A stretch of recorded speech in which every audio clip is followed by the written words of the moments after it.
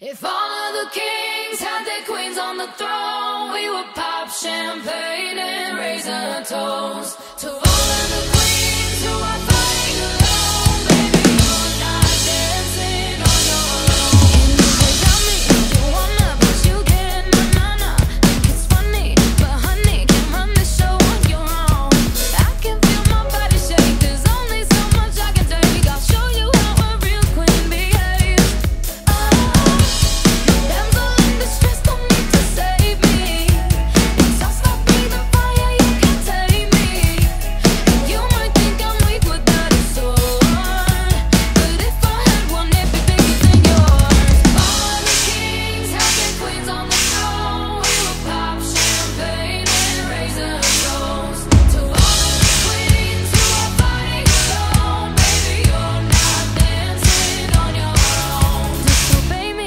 baby, it's